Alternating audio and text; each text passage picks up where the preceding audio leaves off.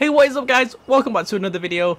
In today's video we're going to be customizing the new Emerus and the Emerus is a car that is 2.7 million so I don't blame you for reassuring that the car is worth buying or not. I'm here with three of my friends who have already customized their car. All I've done is change colour but now I'm going to get into the actual customizations.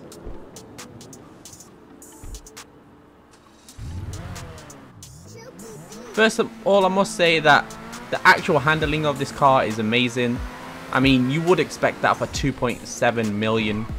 The car handles really nicely, it's really fast, and I'll do a drag strip later to compare it against other vehicles.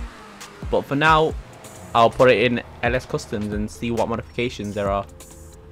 So, I'll start off with exhaust. Let's see what exhaust they have. We have some square exhaust,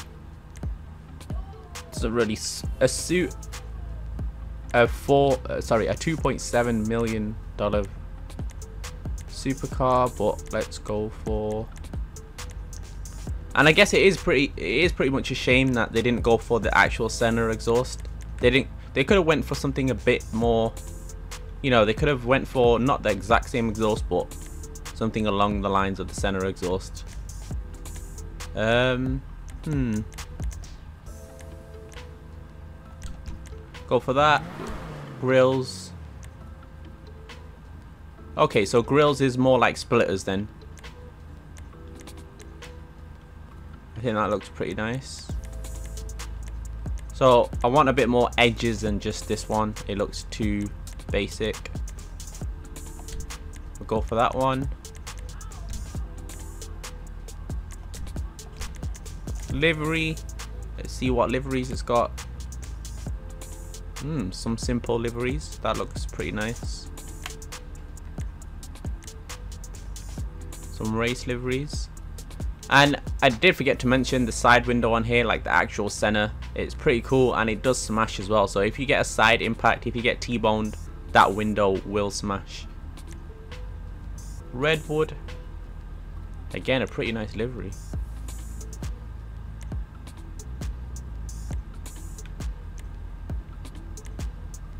Alright, that's it with the liveries. I don't think I'm going to be putting a livery on this because I just want it to be a supercar. I guess these ones still still show that it's just a regular street supercar.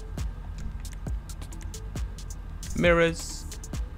We've got black mirrors, we've got carbon mirrors. I might just go for the carbon ones. Number plate, let's quickly change that. Respray. Now, it's a really hard car because it is an exotic car it's a really hard car to I guess color change.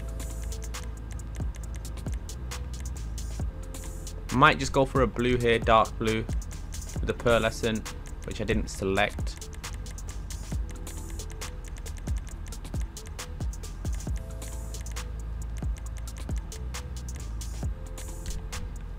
Yeah there we go that looks pretty nice so just going dark crew with a surf blue pearlescent. We can't change the roof color is what I've realized. I don't know if if that's an option later on. I guess it might just be I've not checked yet. Roof, oh there we go, roof is next. and we got black roof, we've got carbon roofs, secondary color. But you can't get rid of the scoop on top. Um, again, hopefully that's another option that get rid of the scoop. I just seen it on my friend's cars that they had the scoop, so I'm not too sure of that one. Let's see how much this sells for. 1.7 million, a million off of what you bought it for. So I guess if you don't like the car, you can sell it for a million less. Let's look at skirts. The lighting's not so good in this garage. But the skirts just look off they don't look like they're made for the car. And there's one that looks like it can chop your feet off.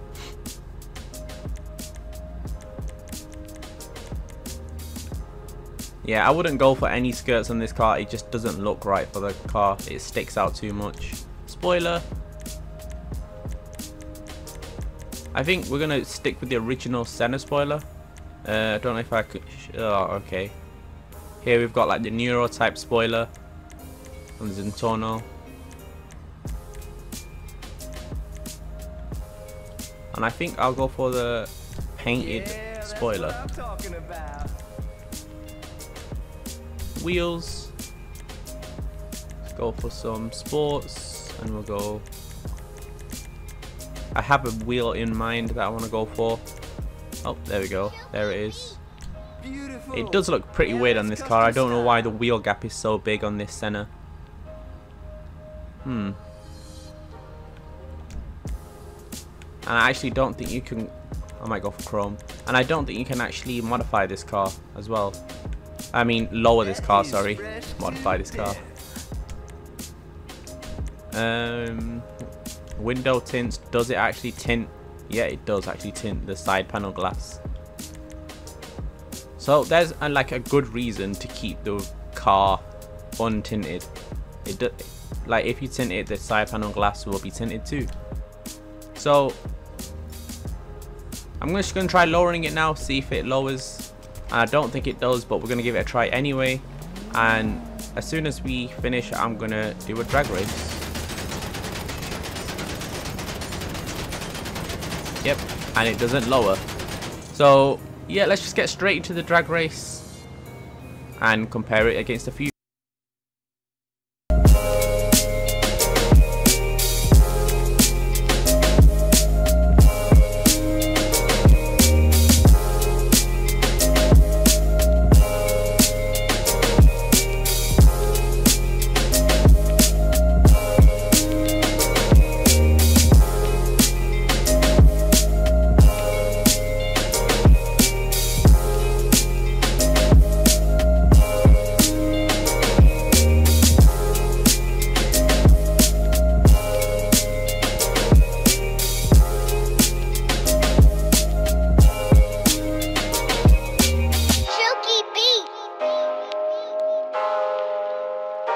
So I'm here at the airport now with the Thrax versus the Emerus or the Emerus. I don't know yet what it's actually called. And we're just going to race it. We're going to see what the car actually does, how it compares to uh, the Thrax. So the Thrax is quite a fast car. It does similar speeds to the Nero.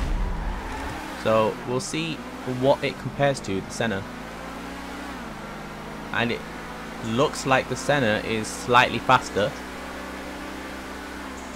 Wow. And that's really good compared, you know, knowing the fact that this that turns corners really well.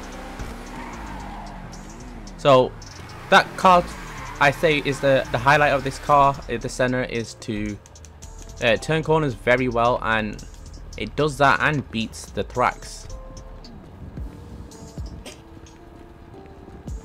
I'm just gonna wait for my friend to open the car here and we'll just do another run just to show that it's you know it's not the driver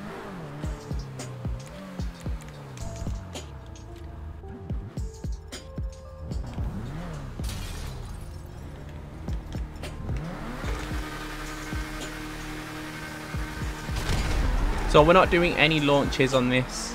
We don't do any launches just because it makes it fair. Because the launches are not consistent. And there we go again. So the Emerus, the Emerus, it's a lot faster than the Thrax.